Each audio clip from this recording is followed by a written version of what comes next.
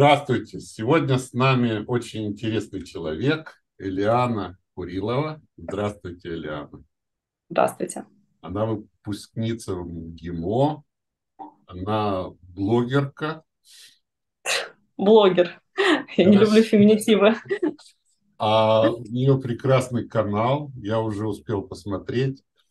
Вот. Э, канал посвящен э, отношениям, но при том, что она не позиционирует себя ни как коуч, ни как психолог, конечно, а просто искренне пытается разобраться в этих вопросах. И неудивительно, что и сегодня мы поговорим на ту же самую тему. Здравствуйте, Илья, еще раз. Здравствуйте, здравствуйте. Скажите, э, вот я посмотрел э, несколько отрывка. А если суммировать ваши отношения к браку, к отношениям между полами – каковы, каковы ваши мнения? То есть институт брака, он не устарел ли, не, изме... не должен ли видоизмениться в современном мире? Э, какие ваши взгляды на это?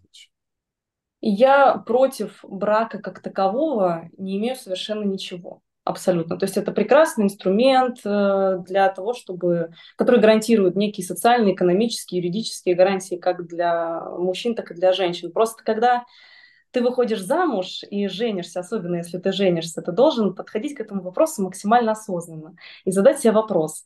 А я это делаю, чтобы что в итоге? Вот я сейчас иду в ЗАГС, чтобы что? То есть э, поскольку брак это про гарантии некие социальные и юридические, то есть ты должен себе задать вопрос, а я от этого что получу? Для того, чтобы потом а, при разводе, да, если такое случится, они случаются в нашей стране очень часто, по-моему, 8 браков из 10 распадаются, и часто инициаторами этих разводов являются женщины, ты должен как бы задать, во-первых, осознанно к этому вопросу подойти, и просто это нужно для того, чтобы в итоге не остаться ни с чем.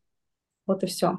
Потому что выгоды для женщины, они очевидны совершенно, а вот а, выгоды для мужчин, они несколько сомнительны. Но вот против брака как такового не имею ничего против. Еще раз говорю, абсолютно нормальный инструмент. Да, соглашусь с, возможно, несправедливостью неких некоторых законов по отношению э, к мужчинам, но это уже вопрос не ко мне, а, в общем-то, к людям, которые эти законы пишут.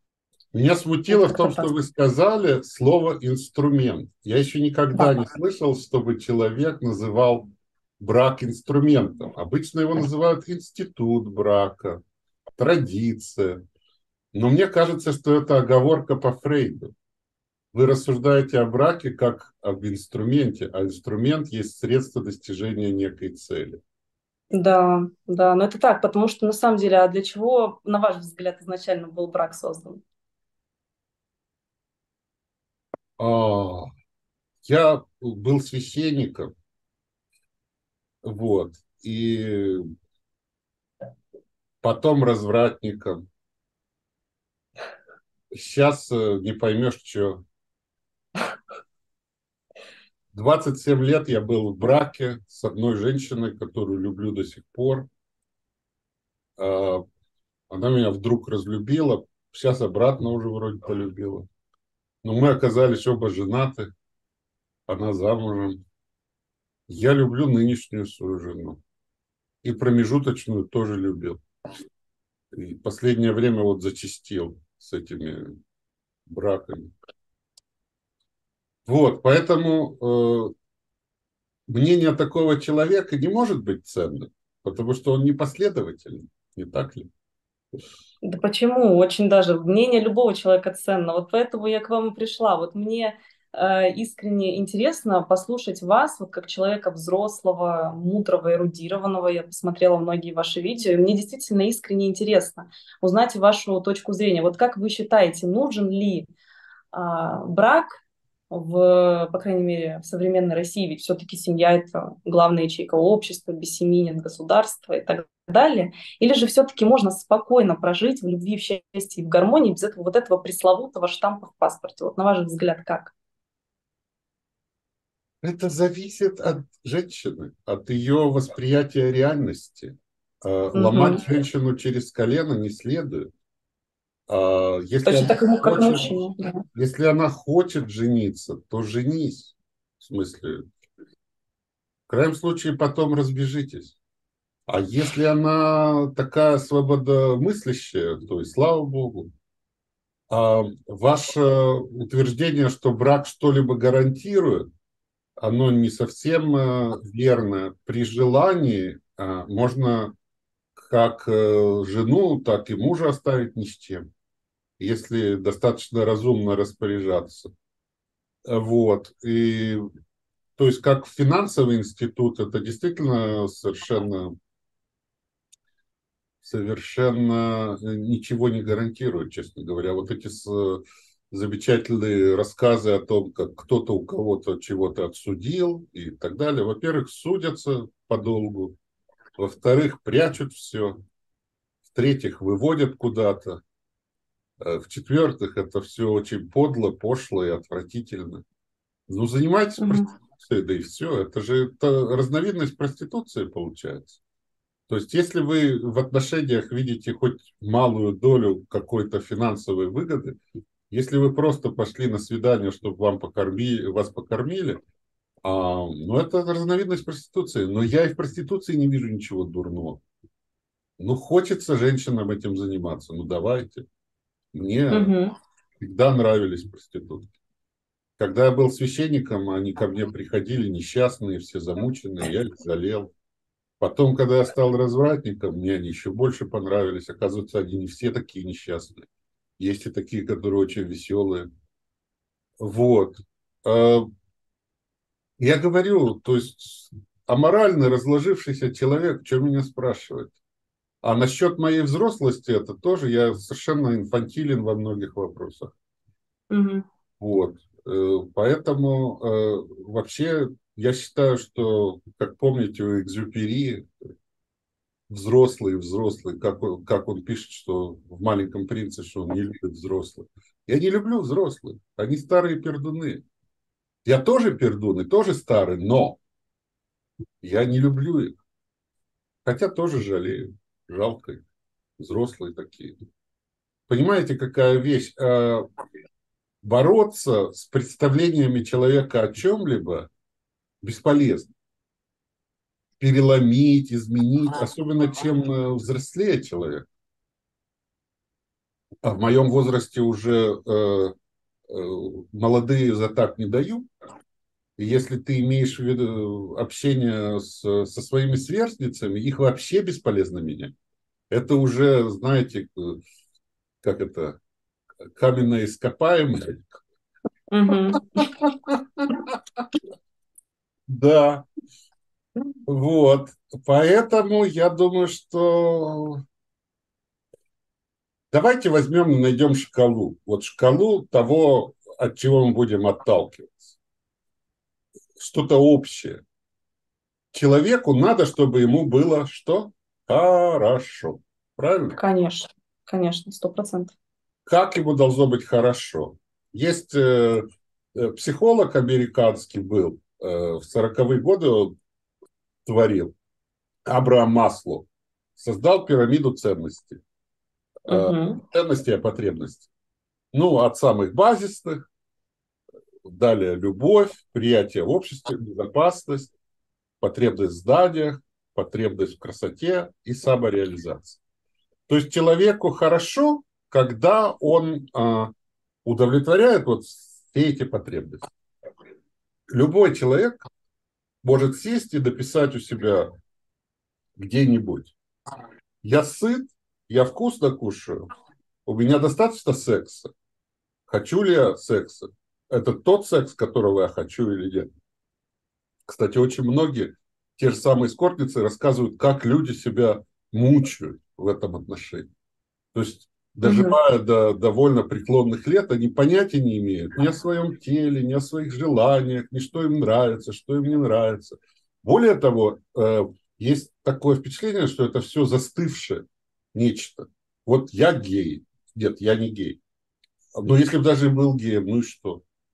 А, хотя геи, когда я им говорю, что это э, подвижно, они всегда очень, нет, вот мы геи, все, вот только геи, вот только. А мне кажется, что сексуальность, она очень подвижная. Наоборот, она не терпит э, постоянства. Сегодня хочется так, завтра хочется иначе. Сегодня хочется с этой, завтра хочется с тем. Понимаете? Вот. И, и главное здесь, во-первых, не должно быть табу для самого себя. Ты должен быть искренне с самим собой. Вот мне так хочется, а вот так мне не хочется. И чтобы на тебя не действовали какие-то внешние э, навязывания. Вот порно сказала, что так надо, значит, ты не положь именно так. В этой последовательности, вот как показали. Вот, вот эта постоянная попытка мужчины и женщины в постели чего-то доказывать. А, это как экзамен. Для женщины, как она выглядит. А вот здесь вот с этого ракурса у меня ничего не висит. А вот здесь у меня все нормально. А для мужчины, значит, тоже там определенные эти самые. Сейчас я быстренько пройдусь по потребностям. А дальше э, есть ли у меня дом, какой я хочу и так далее, э, безопасно ли мне, не пытаются ли меня побить, убить, любят ли меня. Очень важно, ну мы все знаем, вот есть любовь, нет любовь. Очень важно, чтобы тебя любили. Понимаешь? Ну вот реально, чтобы любили и все. Э, как можно вызвать любовь? Ну, это еще были старые фильмы там про Калиостро, формула любви, как вызвать любовь. Не знаю, но она есть. И бывает, что когда тебя любят, это жутко приятно. А, по-настоящему просто любят, что ты есть. Вот придут там, запустят тебе руки волосы, скажут какие-то нежные слова, там еще чего-нибудь. Ну, вот приятно. И это потребность наша. Нам нужно, чтобы нас кто-то любил. Дальше э, это, э, что там, потребность в принятии общества чтобы тебя уважали, чтобы тебя не обзывали, не обижали. Э, дальше знания. То есть у нас есть природное любопытство, даже у самых тупых. Просто школа нам убивает всяческое любопытство напрочь. А, и мы проявляем все равно любопытство, сплетни послушать, там еще чего-нибудь. Красота, хочется, чтобы было красиво. Э, у каждого свои вкусы, я еще не встречал ни одной женщины, которая бы сказала, знаешь, у меня нет, у меня плохой вкус. Какой бы у нее не был отвратительный вкус, каждая женщина считает, что у нее безупречный вкус. Дальше э, самореализация, что бы это ни было. Стихи пиши, э, я не знаю, что угодно. Но это все должно удовлетворяться. И вот брак он ни в коей мере не должен мешать ни одному из этих э, ступеней человеческого, э, человеческой полноценной жизни, ну и, соответственно, счастья. Наоборот, он должен э, максимально стараться э, улучшить удовлетворение этих потребностей. Вот. Но это практически невозможно. Потому что когда даже в относительно счастливом браке человек начинает расписывать, оказывается, что, ну, вначале, скажем, какие-то э, вещи удовлетворяются лучше гораздо. Ну, там, секс, когда вот этот вот э, период влюбленности, когда друг от друга не могут оторваться, там, три месяца все время этим занимаются. Вот. Или еще что-нибудь, или еще. Но практически идеального брака не может быть, чтобы вот все вот эти это может быть только если женщина включает демо-версию, и ей чего-то от мужика надо. Она тогда, если очень постарается, она может включить все. Но это временно. И мужики не идиоты. Они, угу. они могут это все равно почувствовать. Мужик может включить такую демо-версию, если ему очень хочется эту женщину. Тоже он может стать для нее этим всем этим, этим, этим. Но брак – это забег на длинную дистанцию. И поэтому э, человек начинает искать на стороне, и в этом ничего дурного нет. Не обязательно секс, хотя и секс тоже. Начинает искать на стороне. Если у жены другие интересы с точки зрения познания, то он заведет себе друга или, или будет смотреть какие-то свои передачи и, и разные представления о красоте и прочее, прочее. В этом нету никакой проблемы. Э, Кант говорил, что человек не должен быть инструментом, и брак не должен быть инструментом. Это аморально. человек не должен принадлежать другому человеку. Нельзя взять мужа и сказать, он мой, и все. Или вот я взял жену, и все, вот это вот моя. Вот моя, моя мнение, мое мнение. Угу. Угу. Вот вы сказали, что брак не должен быть инструментом. Но тогда я не совсем понимаю, для чего он в принципе был создан. Но ведь если мы вернемся в историю, я, конечно, могу ошибаться, и вы можете меня поправить, но он был создан в первую очередь для того, чтобы создавать взаимовыгодные экономические союзы между разными различными семьями. Как правило, богатые держались с богатыми, бедные с бедными. А, также для того, чтобы претендовать на наследство, для того, чтобы заниматься легальным сексом, рожать детей, а, для того, чтобы автоматически получать э, право на отцовство и так далее. То есть вот опять-таки это все про какие-то гарантии, гарантии экономические, Лиана, вы сами как бы подтвердили то, что вы говорите. Есть столько разных причин, от да. чего возник впервые, мы не знаем. От чего мужчина и женщина пришли к Э, к вождю племени или к шаману и сказали, вот мы хотим быть вместе, вот э, э, постучи в бубен и скажи, что вот мы вместе. Я не знаю, угу. когда и как это произошло. Либо сам шаман сказал, так, короче, все, кто хочет жить вместе, приходят ко мне, дают три шкуры крысы и одного кролика. И я постучу им в бубен, я поскольку сам был шаманом, по сути, у нас, к сожалению, священство все время пытаются свести до, до этого, до обычного шаманизма. А приносят там шкурку кролика и говорят там, помолись за, за что-нибудь материальное. Вот. Или освети мне новую стиральную машину или еще что-нибудь. Да, так э, я не знаю, какой был этот самый. И нельзя сказать, что это вообще есть единый институт, который э, был во все времена. Да, действительно, в нормальном, обычном сексуальном соитии, в котором рождаются дети, участвуют чаще всего два человека. То есть каким-то образом они занимаются этим парно. Даже при всем э, воображении, когда это происходит не парно, а место там только для одного члена, правильно? Угу. То, то место, которое вызывает рождение детей. В остальные места вроде биология не предполагает зачать. Конечно. То есть э, вот это спаривание, я, кстати, только недавно понял, что спаривание происходит от слова пара. Когда я телефон подключу к машине, и он говорит там pair, и я думаю, о, спариваются. А, значит, они просто по парам разбрелись. А такое вроде пошлое слово спаривание, да? Не знаю. Да, да. Ну вот. И тогда, э, если, короче, э, брак, как и многие универсальные вещи, не являются универсальными.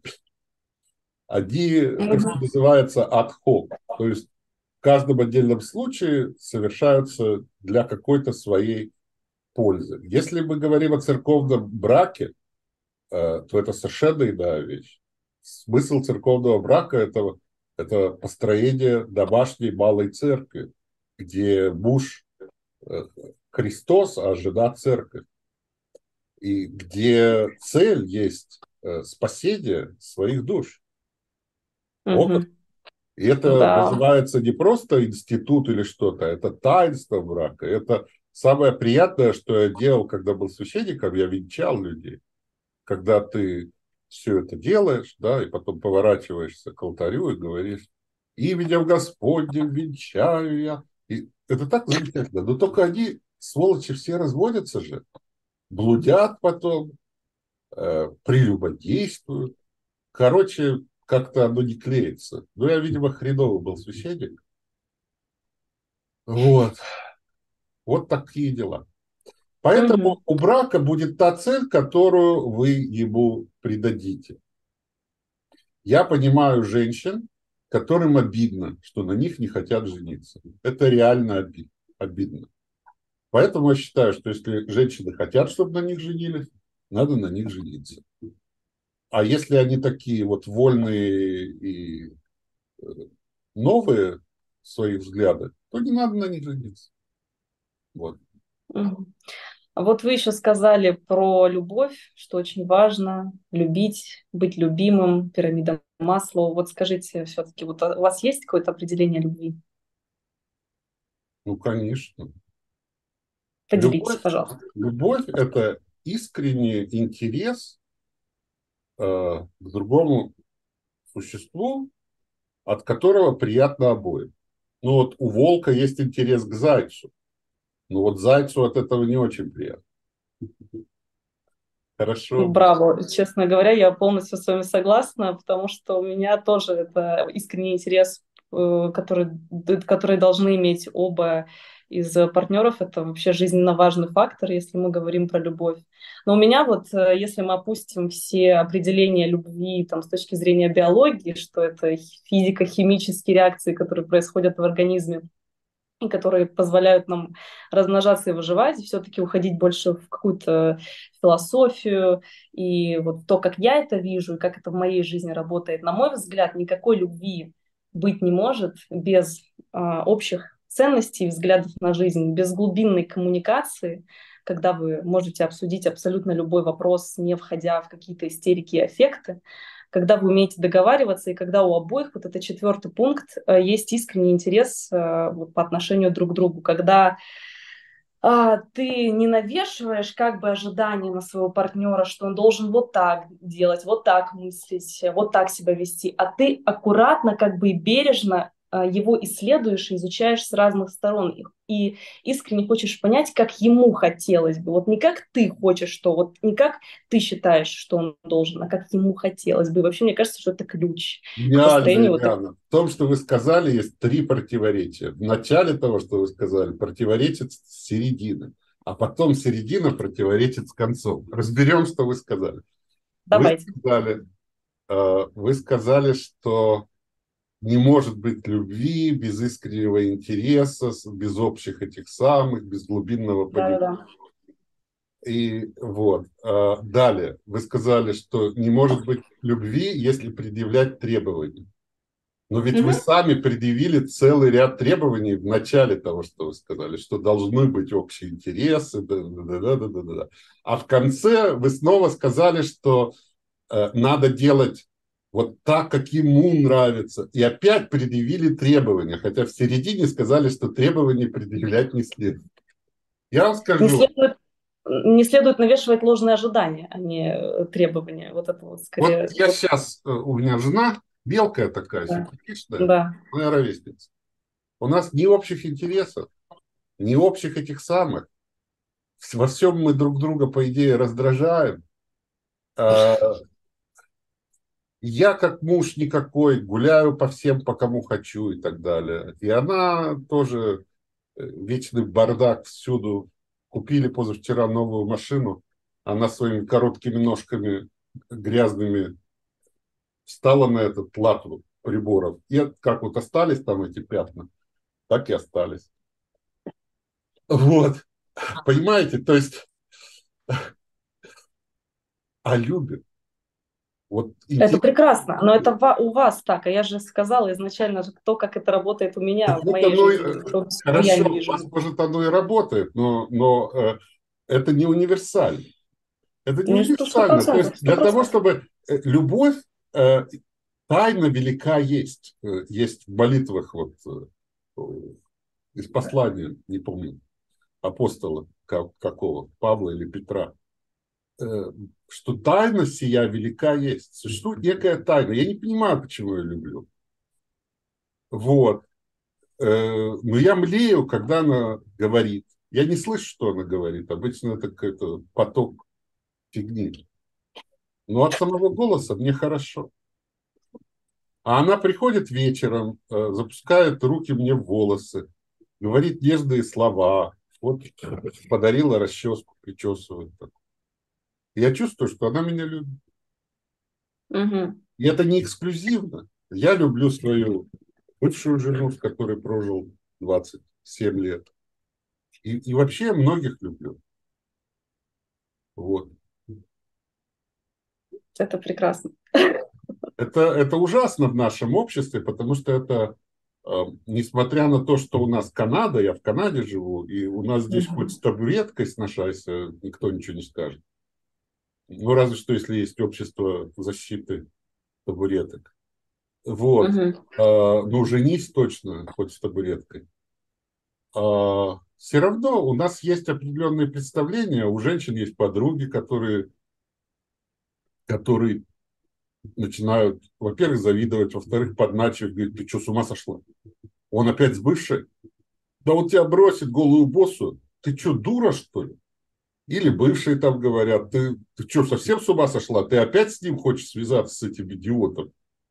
Он тебя вот это 30 лет гнобил, там это мучил, и ты опять с ним связался? Или у меня могут быть какие-то друзья, которые говорят, да ты что, с ума сошел, что ли? Бла-бла-бла-бла-бла. И каждый ага. тянет в свою сторону. Причем он решает свои проблемы, свои комплексы. Поэтому, кстати, и неплохо ходить к психологам, потому что с психологом ты можешь наговорить чего угодно практически без последствий. Угу, да. Так, э, ну что, вот еще скажите мне, вот идея моногамности, это вот мы пришли к моногамии, скажем так, вот на ваш взгляд. Эм, это своего рода такой закономерный, абсолютно логичный результат э, человеческой У вас когда-нибудь был секс втроем? А, нет. А хотите? Нет. Угу. Совершенно. На данный момент нет, точно. А, значит, э, вот моногамия – это идея верности и так далее. Вот это все логичный и закономерный результат человеческой эволюции или это все какие-то социальные полурелигиозные выдумки, на ваш взгляд? Ну, это и то, и другое. То есть, если мы обратимся к приматам, то у них как бы Э, у разных приматов по-разному это устроено. А поскольку мы не произошли напрямую не от одних живущих на свете сейчас приматов, а произошли из, от какой-то своей ветви, которой больше нет, кстати, для священника это очень прогрессивно бывшего рассуждать об эволюции. Э, трудно сказать, как у нас строилась сексуальность. А ну, в первобытных э, племенах, которые мы можем сейчас наблюдать, она, она тоже бывает по-разному устроена. А, но наиболее естественно создавать какие-то временные союзы. И вот эти вот временные союзы, они как раз и ведут к такому числу разводов. Потому что, ну вот что сейчас происходит? Это как бы нормально для человеческого рода.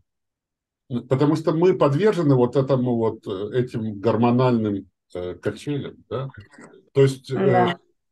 мы манипулируем мы нашими гормонами и природой. У природы свои цели, которые не совпадают с нашими индивидуальными целями. Их цели – выдавить из меня семя, а из вас осемененного ребенка, чтобы я вам добывал... А, ну мы еще не поженились, но это не важно. А, я просто для примера говорю. Я вам добывал пока вы не можете сами охотиться, э, защищал вас от зверей, а когда ребенок уже сможет сам, э, чтобы не, не коптил потолок и не мешал жить, чтобы сдох скорее, все. Следующее поколение, чтобы было.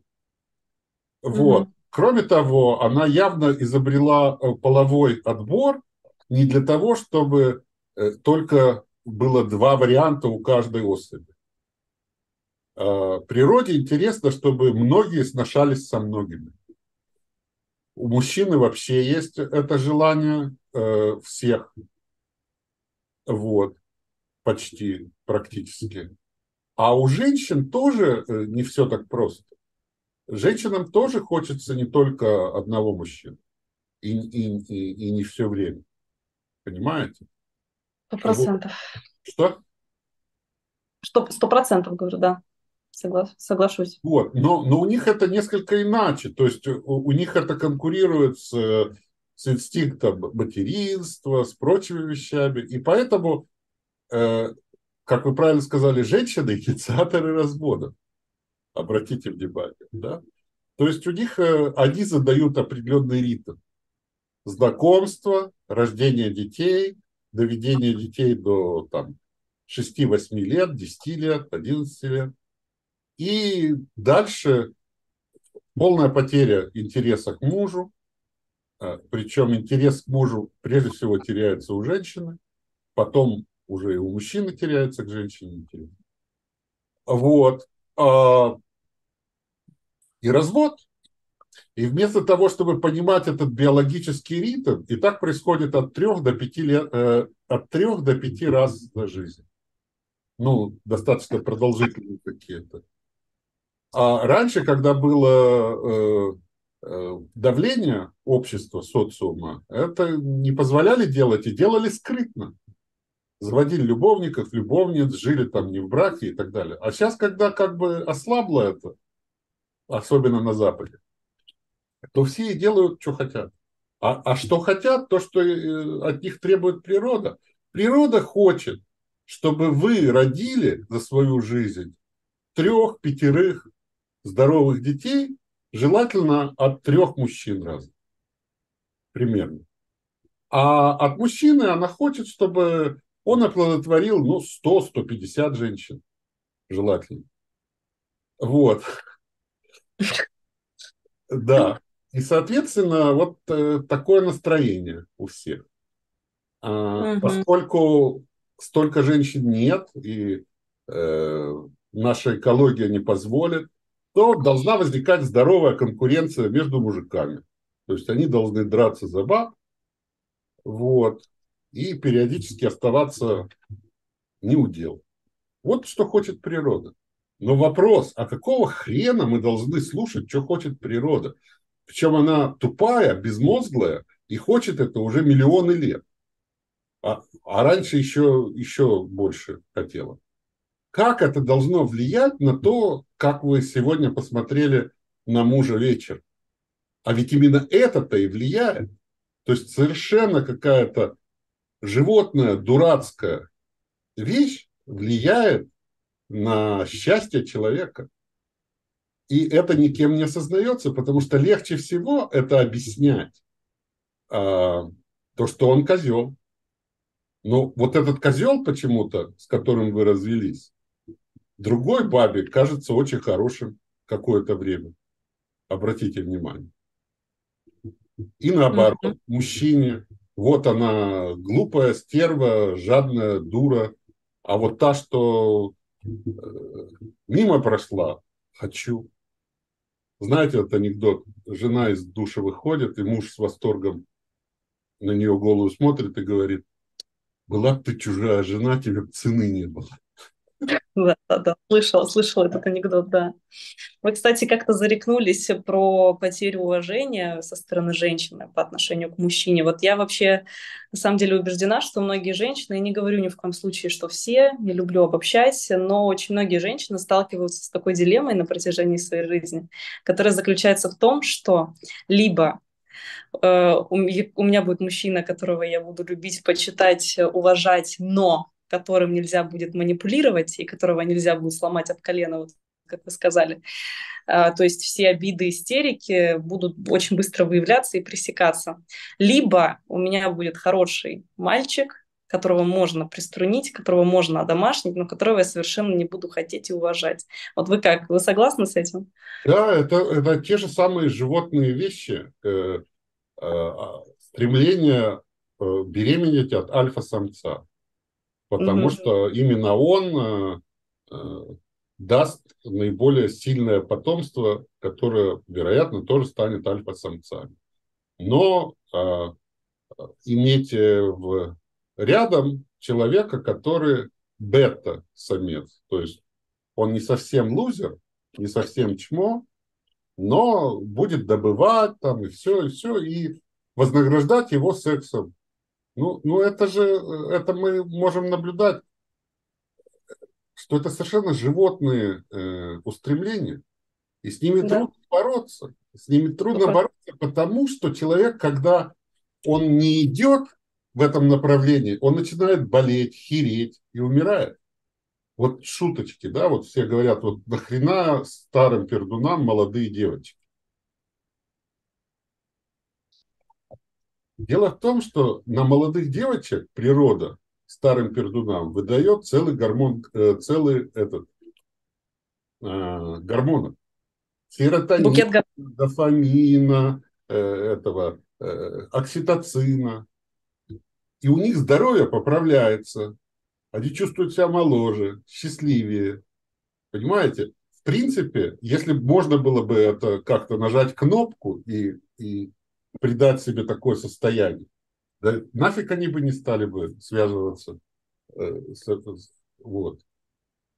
Э, а когда над ними издеваются, да, вот как ты там, все, вот как ты смеешь, посмотрел на меня, тебе 50, а мне 20, ах ты сволочь. Ну так это природа, что можно сделать? Ну это природа. Вот. У баб тоже своя природа, и очень нелогичная, и очень аморальная. Знаете ли. Угу. А, а, а, я перестал на них сердиться, когда я понял, что эта природа заложена миллионами лет назад, что это природа выживания и эволюционно выгодная. И иначе а не вы... быть. Тот, кто не был вот такой меркантильной сукой, они все сдохли, независимые и, и прочее. То, что когда они беременели, когда у них были месячные, когда еще чего-то, Э, если у них не было рядом мужчины, они не могли им манипулировать, они умирали, они погибали. Ага.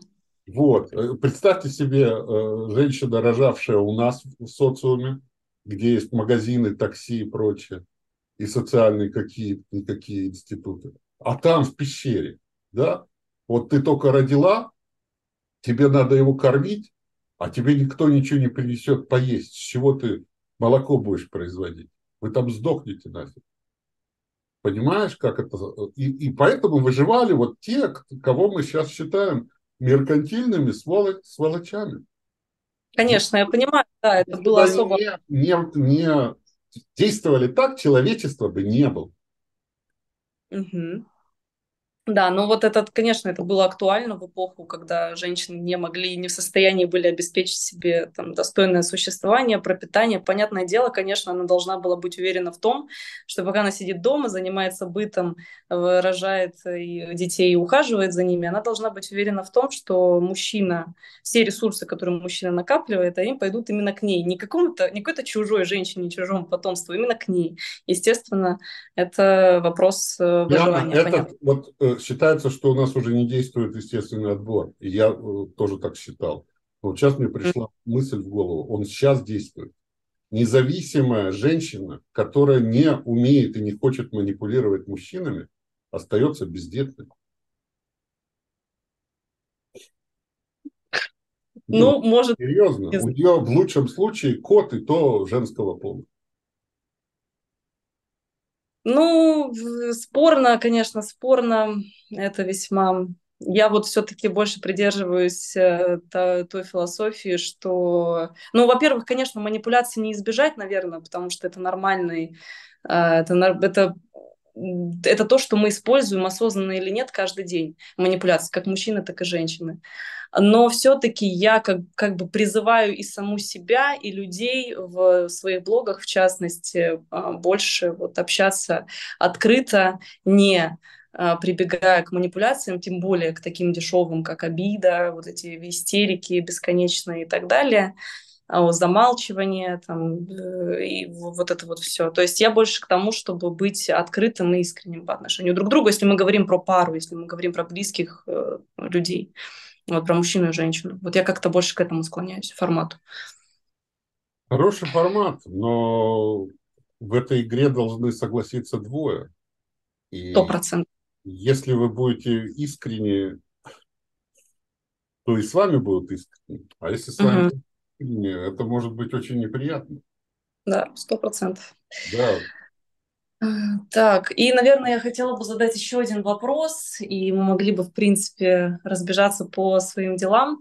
А, вот э, насчет брака, возвращаясь к вопросу брака, я вот посмотрела статистику, и, в общем-то, ну, я не, я не могу сказать, что я удивлена, это, в принципе, закономерно, на мой взгляд. Вот в таких странах э, патриархальных брак, в общем-то, держится, и там никто практически на разводы не подает, они минимальны, статистика минимальна, особенно в Индии. Вот, лидирует Россия у нас, там европейские страны, в частности, Португалия. А вот вы как вы думаете... регистрировать разводы, у вас вообще статистика будет великолепна. Э, ну, это, кстати, да, я согласна. Но вот э, как вы думаете, с чем это связано вообще? Почему такая статистика? У нас в России, по крайней мере, да и по миру, в принципе, тоже. Ну, потому что не принято. Ну, вот, это же как цепная реакция. Мы все, э, вы все, женщины, подражаете подругам, мы друзьям. Если у вас шесть подруг развелось, то вероятность того, что вы разведетесь, огромна. Потому что вы с ними общаетесь, и на все проблемы они, во-первых, они вам э, завидуют, считают вас дурой, одновременно завидуют. Что она, лучше всех, что ли? Мы все уже по третий раз, а она все со своим ходит. И они, а, они подтачивают вам, говорят, да ты чё, да это так классно, да вот у меня этот, Валера, он меня так трахает, а ты со своим этим, а туда-сюда, а она со встречи с подругами пришла, а там этот в тапочках, а ей не хочется. Ей не хочется не потому, что он в тапочках, а потому что природа изменила ее гормональный фон и требует от нее, чтобы она родила еще одного другого, потому что ей интересно посочетать вот эти гены так и так, так и так. Но она же об этом не думает.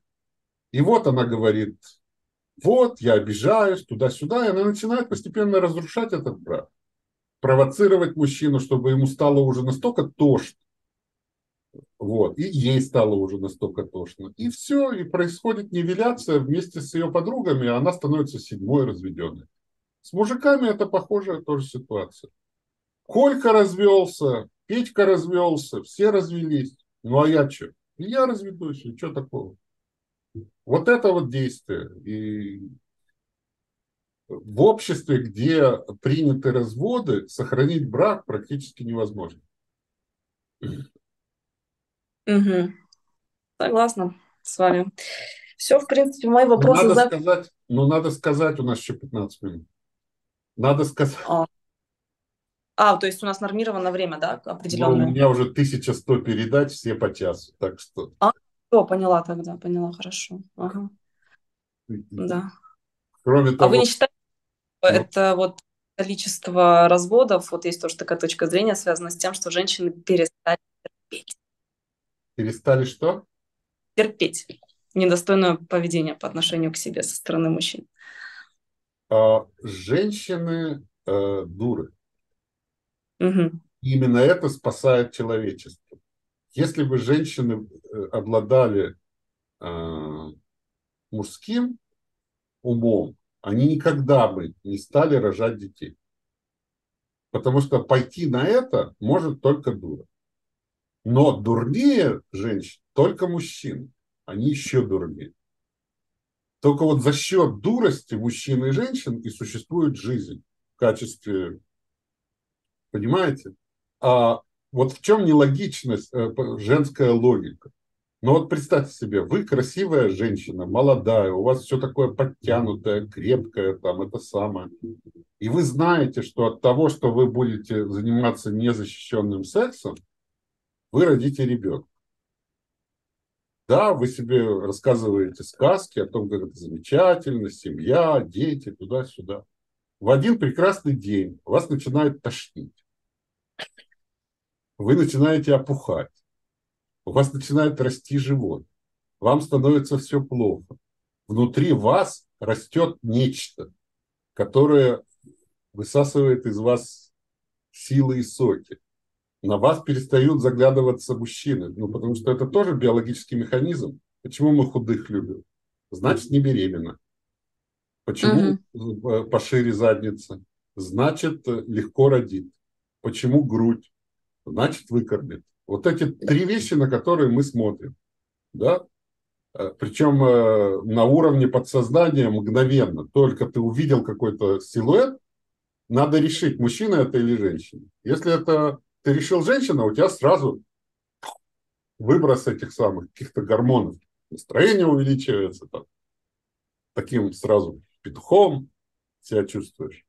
А если мужик, ну тогда вот как-то у нас в Торонто был пробег голых э, людей на на велосипедах. Я смотрю, едут. И издалека не видно, кто женщина, кто мужчина. Но это необычно, чтобы голые ехали по улице, правильно? И вот издалека так смотришь, и он пока не приблизился или она, непонятно, как реагировать. Потом вроде, вроде женщина. И сразу такое, о, голая женщина едет по Торонто. А потом чуть ближе, да нет, это старый мужик, у него просто сиськи висят. Вот такой вот, знаете, вот очень сложный механизм реакции, такой вот опыт. Вот. О чем я говорил? О сиськах.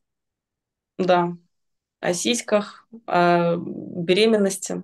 Я говорил о том, о том, что рожать детей а разумное существо не согласится. У него э, должно быть некое помешательство. Особенно после уже первого раза, когда все это с человеком произошло, когда у нее из самого неудобного места. А вы заметили, как клитор расположен по-идиотски? А почему по-идиотски? А потому что он очень редко соприкасается с членом во время э, соития. А, ну, это да. То есть кто, то есть природе надо что, руки выламывать за такую вот сам. А оказывается, это чтобы женщине, чтобы она не теряла сознание от боли, природа, а. и не было болевого шока. Потому что если этот орган окажется там, где, извините, головка 12 э, сантиметров в самом широком месте, пытается пролезть через место, которое 11 сантиметров, в природе тоже это, знаете, самое широкое место это между мысом Промонториумом в, в этом, в, я же медиком был до того, как был священником, и симфисом э, этого таза, костей таза. Там 11 с половиной, называется диагональная конюга. А головка средняя у, у ребенка, она 12. Угу. Вот это 12, представьте себе, вот это 12 лезет из вас причем не, не напрямую, оно упирается и вот так вот, вот так. И этот бы там бы вот при этом был. Женщина бы теряла сознание, шок, давление бы падало, она бы умирала. Представляете? Есть тысяча один как можно было все устроить. Но природе на нас насрать. Мы расходный материал для них. И, и ломать свои жизни из-за того, что у нас здесь не так гормон, там не так гормон. Сядьте, выучите, поймите, что все ваши мотивации биологические. И, и запретите себе реагировать на основе биологических э, вещей. Рушить свои семьи, прочие всякие вещи. Вот, вот в чем призыв. Причем психологи почему-то не владеют биологией и пытаются это все объяснить какими-то теориями не биологическими зависимые отношения, туда-сюда. А там все эволюционно. Развилось так, потому что так выживали. А не развилось, потому что так не выживали. Вот и все. В зависимости от того, какой еще психолог, потому что есть, э, насколько я знаю, я не особо хорошо в этом разбираюсь, но вроде есть клинический психолог, у него должно быть образование, он должен разбираться в биологии. Ну, образование, но у него клиническое, это оно не биологическое образование. Ну, это да. А, да, вот вы еще сказали, что разумный человек, э, что не будет рожать, да, если у него есть разум, он этого делать не будет, особенно если это произошло один раз, он поймет, что нет, спасибо, я больше не буду. Кстати, очень часто женщины, я вот в этой связи вспомнила, очень часто женщины после первого ребенка стремятся родить второго, третьего, четвертого, и это для них как э, тоже способ избежать некой ответственности за свою жизнь. Вот и это так. И э, дети, конечно, они милые, маленькие, симпатичные, там, я тоже их любил, люблю. Но, э, ну, любим-то мы их не потому, что они милые, симпатичные, а опять же из-за гормонов. Когда э, показывают нам лицо младенца, у нас вырабатывается окситоцин. Из-за этого мы любим все мимимишное. Э, котиков там и прочее. То есть вот чувствовать себя машиной, которую, которой манипулируют для каких-то идиотских целей, а когда у тебя еще и женщина, и она начинает тобой манипулировать во имя манипуляции, не потому что ей реально вот надо что-то достигнуть, а потому что ей надо чувствовать, что она имеет над тобой власть и может тобой манипулировать. И эти манипуляции доводят и семью до краха, и страны до войн. Вот что говорят Шаршеля Фам, ищи во всем, во всем женщине. Потому что женщины манипулируют ради власти над мужчиной. Это самая большая фишка. Женщине не важно что-то получить. Ей важно добиться это мужчины. Понимаете? Ну вот хочется вам цветы. Вам по кайфу пойти сейчас купить себе цветы? Ну как-то это совсем пойдет.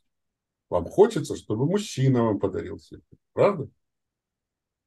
Наверное, да. Я как-то к этому немножко равнодушна на самом деле. Ну, к... сама себе, сама себе делать подарки, это все равно как пить в одиночку. Как Конечно. Это... То есть физиологически можно, но как-то унизительно. Согласна полностью. Да. Да. Вы напомните мне, вы сколько раз у вас был брак? Вы в браке сколько раз были? Ну, считать, три, третий пошел. Третий? Третья а охотка. Почему? Ага, а если не секрет, то почему распались первые Она два? была ревнивая вторая, как дура, блин. Вот абсолютно ревнивая. Вот за такой разговор с молодой девушкой, да еще на такую тему. Да еще поставить в интернет. Можете себе представить? Я представила, да. Зато та, что сейчас, ну, ты понял, все это понял. Она русская? Украинка. Да. Украинка. Угу, понятно. Ну, это вторая ревнивая была, да? Да. А первая? Ну, первая, мы прожили 27 лет, великая любовь, все было по правилам, как положено. Ну, в смысле, не по правилам, но настоящая любовь, как в романах писали. С ней же мы сделали приют у нас в доме, принимали всех э, несчастных, э, спасали, почти присутствовали, несмотря на то, что я был успешным бизнесменом до этого, приняли очень близко христианство, Христа, православие.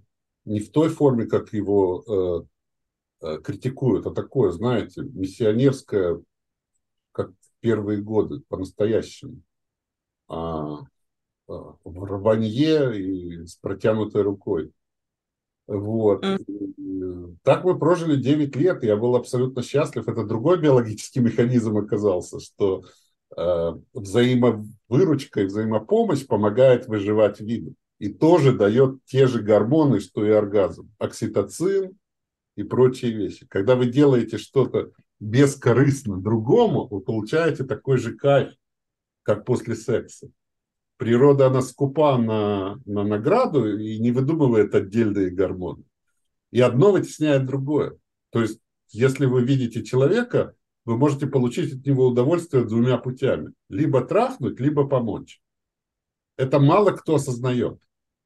Хотя угу. все, кого не спросишь, тебе было приятно, когда ты кому-то помогал просто так. Все говорят, да, приятно. А, ну я-то довел это до абсурда. Я все раздал, я пускал э, нищих себе в дом, наркоманов, проституток, алкоголиков, всех. Следовал Христу и получал огромное наслаждение от такой жизни. Вот. Потом, потом я лет? только понял, 9 лет так я жил. Угу. Потом я только понял, что в этом тоже есть биология. Просто я очень развил это, то, что обычно мало развито. Но в конечном итоге э, какие-то механизмы психические, психологические у жены поехали, а тут легко ведь обвинить. Это, это не я все, это ты все сделал, э, что у тебя полный дом наркоманов э, и так далее. Общество, естественно, встанет на ее сторону, скажет, ты что, с ума сошел? Вообще настоящие христианские ценности, если их накладывать на мир, то а, они находятся в абсолютном противоречии друг с другом то, что обычная православная церковь пытается изобразить, что помолись, и тебе будет э, еда вкуснее, так это шаманство. Это и есть шаманство, понимаете? Угу. Смысл христианства – это трагичность, это повторение путя, э, пути трагичного Бога, который становится человеком, чтобы распяться за прощение первородного греха человека, Адам. О таком Боге тоже можно еще много разговаривать, что это у него за такие комплексы, почему так надо трагично создавать мир. Об этом я тоже написал книгу «Руководство по сотворению миров», где Богу объясняю, как, как надо. Угу. Вывожу э, закон, э, э, как бы закон, высший закон для всех творцов. Не создавать миров мучительных для их обитателей. Вот. А то только Бог может придумывать законы. Почему бы мне не попробовать придумывать законы для богов? Видите, какой отвратительный. А в комментариях пишут, что я душнила еще. Представляете? Какой кошмар.